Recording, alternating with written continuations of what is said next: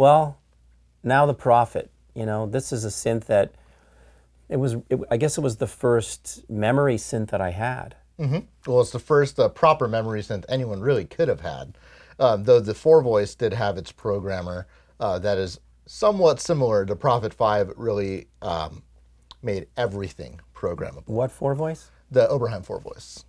Because that has a programmer module where oh, you can save okay. certain offsets. It's more of an offset programmer than anything, Right. whereas this is fully programmable. Yeah, fully programmable, and I could put it on top of the Fender Rhodes and like do a gig and like call up mm-hmm. sounds, and that was like pretty.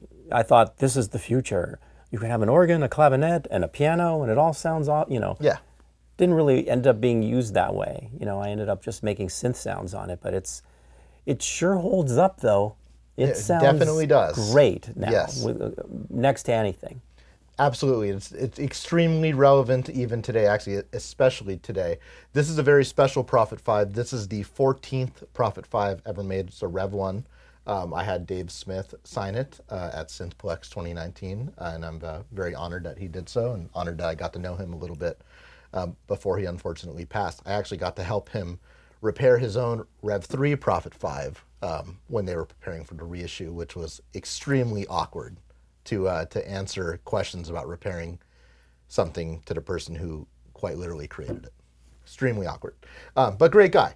Um, so this is uh, Says a lot though. it does, I think. Thank you. Uh, but this is uh, again a Rev One Prophet Five, so it looks a little bit different than the later ones, and I wanted to bust out the Rev One so I could really show um, not just the the next stage in synthesis and how that looks inside, but uh, the earliest of that stage. Quite literally, this would have been made by Dave Smith in his garage. Um, so And it looks a little different. Like these, this knob isn't on the later one, and that knob, and the, the power right. switch is in a different spot. The right? power switch is up here, the tune knob, or sorry, the volume's up here instead of over here, like on the later ones. Um, and yeah, you have the preset switches. Though with the firmware that's in this, it bypasses all that, so you can actually twist the knob and it changes. Back then, you had to press the preset button in order to actually edit certain sections of the Oh. like on an synthesizer. OBX or Exactly, just like on an OBX, but they kind of ripped that off from this, of course. Again, why we busted this out, because everything after this is kind of based on this. This kind of started it all. even like the the Oberheim OBX, OBXA, Absolutely. and OB8.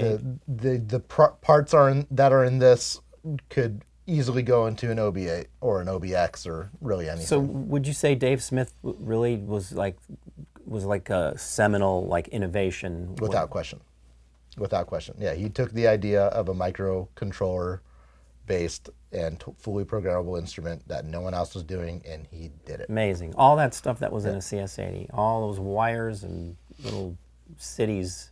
Yes, of course, this has no dynamics. It's just note on or off. There's no aftertouch. There's no velocity. Um, so it is missing that, but um, you know everything else Mm-hmm. is fully programmable. Now the MIDI came later, right? You didn't Mm-hmm. have MIDI at the beginning of, of Prophet Five. That's right, and there's no MIDI in this either. Uh, there was a factory MIDI for the Rev 3 towards the end of its production, um, but these earlier ones, there was no way to add MIDI until today, uh, where there, there are now some retrofits. Yeah, yeah. All right. Well, now the unveiling, On the unveiling, I'll show you how uh, miles of wire gets condensed into a couple ribbons. and it doesn't look anything like what I'm used to.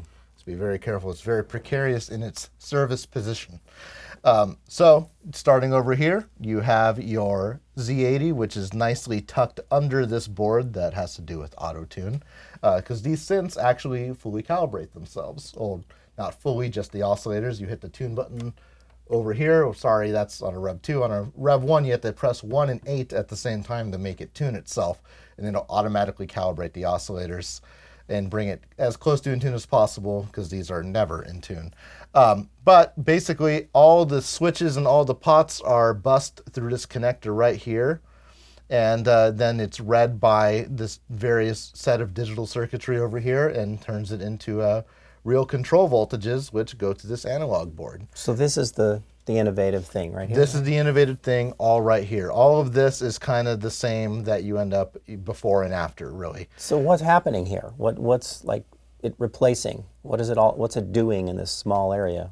Tone Spider. Um, what it's doing is, uh, you know, it, it's providing a, a firmware to to the uh, to, to the controls really. So it's it's scanning the keyboard for key presses and it's turning those key presses into voice assignments and uh, and control voltages where necessary. So of course for the oscillator there's a control voltage. It might send a control voltage to the filter, gates for the envelopes and all that kind of stuff. But in this section specifically, it's storing the actual um, parameters. So in these, this over here is the RAM section, and um, it's battery backed. There's the battery right here, and um, yeah, whenever you save a program, it's saved onto one of these chips, and those chips fail all the time. Let me tell you.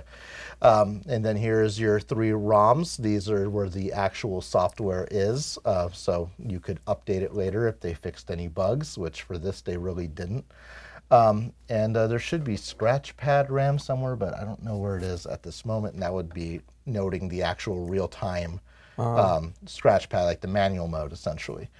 Uh, you have interfacing stuff here, which kind of interfaces with all this stuff to assign, you know, the, the chips enables and all the things for these various chips because they all are basically running in parallel. Um, and then over here you have a DAC. Um, so this you know converts all the, the digital stuff into analog and then So gets it's digital up to he, through here. It's through here really it's all digital. all the way. So for sure, digital here, Mm-hmm. and these are replacing all those cards like that were all dedicated on the Yeah. CS80, right? And then it's able to discreetly spit it out to the right analog That's things right. Via this DAC. And then it goes through this DAC and then You're, I'm actually understanding it. Ex- Yeah, there's signal flow from left to right, right? So then after the DAC, that gets into these uh, 4051 multiplexers, and that's demult in a demultiplex fashion, where it's then sampling and holding those values into these various buffers. Uh, what's called a voltage follower, and these are the capacitors that hold the voltage. So it's basically re- spitting out the voltage that the pot is at, multi- you know, many many times per second, and this capacitor is holding that voltage. And when these caps fail, of course, then you have problems. And Yeah. these op amps fail. All, everything in this thing fails. It's a very early product. And uh, yeah, I mean, uh, basically, that's your filter CV, your key CV, everything, the LFO rate. It's all being spit out numerous times per second um, through this into these capacitors. And then there's actually even more circuitry behind this analog board. And then the miles and miles of wire you see in the CS80 is all replaced with this uh, 50 position ribbon cable right here. And that just goes from here to here. Uh, this being a Rev 1, one interesting thing to note is that there's a second ribbon right here. And you'll see nylon standoffs on the analog board because all of them had the ability to be turned into a Prophet 10. Um, and that's how you would expand the voices through there. Oh. And uh, they discontinued that very early on because it's extremely unstable due to heat, um, and the bottom board just gets totally baked. Um, so they stopped doing that, but they left all the hardware in it. And this being number 14, definitely they had the idea that it could be a Prophet 10 at some point. Um, and then you have your analog board, which receives all these control voltages and also makes even more of its own. There's more multiplexing going on. You have all your envelope chips here. Those are all SSM based envelopes. There's more under the ribbon. Um, here's all your oscillators with nice goopy Tempco resistors which sense the temperature and compensate um, a little bit. Uh, they're very unstable even with that. You see all this green wiring. This is all what's called kludge wire, Kynar wire. Um, and that's because they ran out of uh, routing spaces on the board, or in this case, they needed to add buffers um, because things were dragging other things down. So they add these buffers and they tack onto the chip below it. So there's actually chips below this. It's pretty raunchy, all things considered, as far as synth design goes, these Rev 1s. But they are amazing nonetheless. Did he sort that out later? There's more space. The Rev 2, they didn't sort it out quite as much, uh, but in, by the time uh, the Rev 3, which is what you have, by the time that came along, it was a lot less of this, much more refined. But also a completely different sound. You know, these original Prophet 5s are all SSM based, and uh, that's just a different chip manufacturer. But they were so unstable, they had to switch. you like know. the, how they sound better? I don't like how they sound better. Uh, they definitely sound different, and they do sound cool, and they do sound good. Um, but I wouldn't say Mm. one's better than the other, really. The Rev 3 definitely works a lot better than the Rev 1. And it sounds its own good form of good. So. that That's the classic Prophet 5 sound, ultimately. You know, all the big hits that were Prophet 5 was all Rev, Rev 3. 3. Except for, you know, like, um, was that Yellow Magic Orchestra? That's all Rev 1 and 2. Yeah, to Rev 1 and 2. Yeah. And so m- most of the stuff, so you have the the Z80, is that what, The Z80 Okay. microprocessor. and then it gets converted around here into analog, and then you have oscillators and filters and VCAs Oscillators and filters and VCAs are all over here. These are all just the control voltages for all of for them. Yeah. Okay, so it turns into the analog land here. That's right. And, And then, then- behind here, you actually have the LFO, which is on its own oscillator chip. and uh, yeah, so the control voltage for that would be over here as well. So just what are those? Like where where are the oscillators and the filters and the So these are the envelopes. We'll start here just because it's towards the left. So the SSM 2050, though they may be marked differently because they, um, you know, they had they had chip fabs back then. Sometimes they didn't want to go through the extra expense of actually marking the chips. Um, but those would be SSM 2050s. There'd be 10 of those, five for the filter envelope and five for the amp envelope.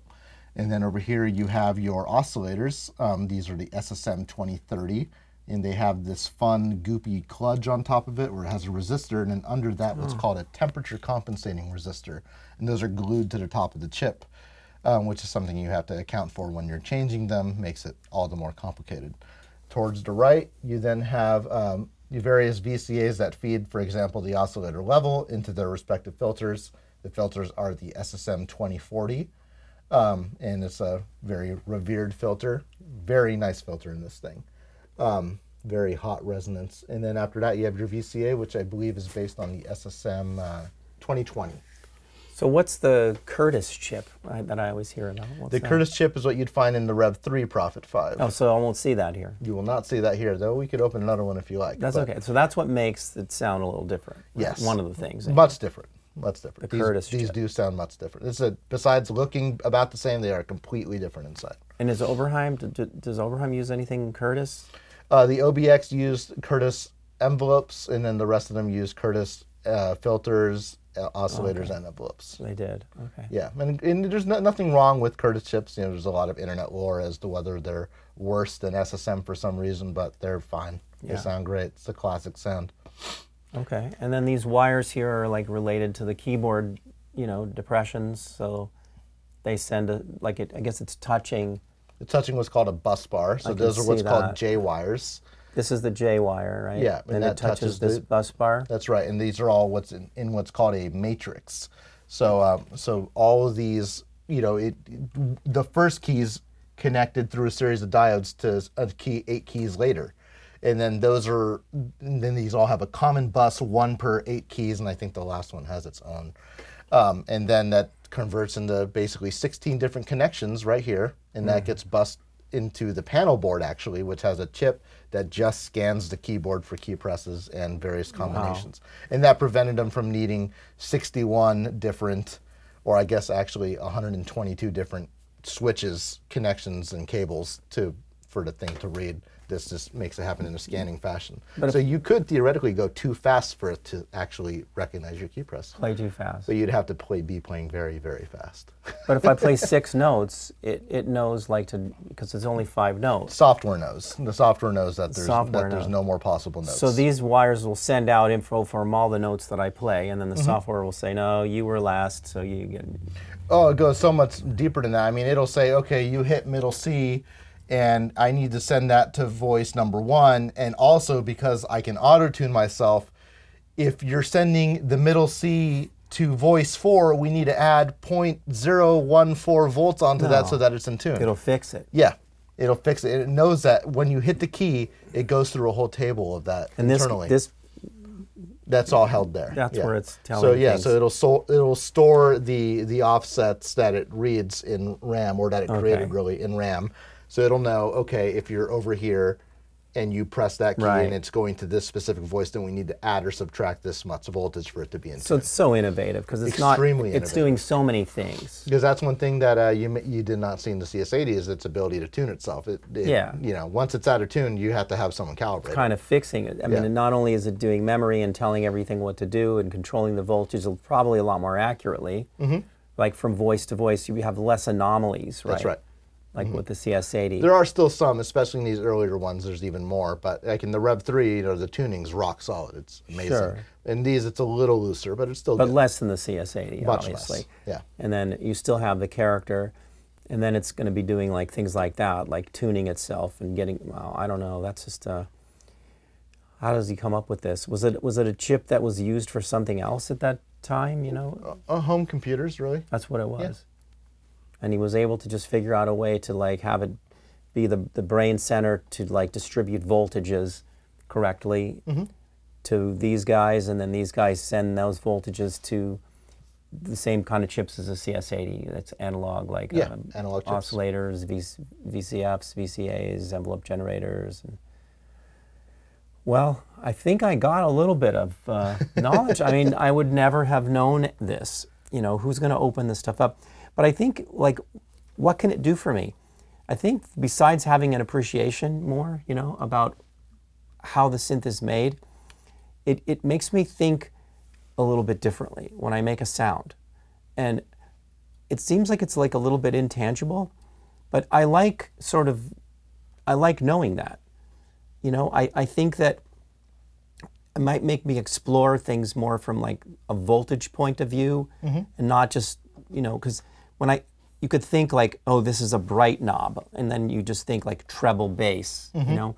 But if you think of it in terms of this, it's just like having more than one way to look at sculpting a sound, mm-hmm. you know. Be like if you're Michelangelo, you could use a hammer and a chisel, and that's one way to do it. But you could also sort of brush things off, you know. So it just affects the way you create. So It, I'll tell you one thing. It definitely affects the way I play synthesizers because I know how they work inside. It's like when I'm on my memory mode, especially because it's so haphazard with this kind of stuff. It's like I'm going to press this button and it's going to make every oscillator three low frequency.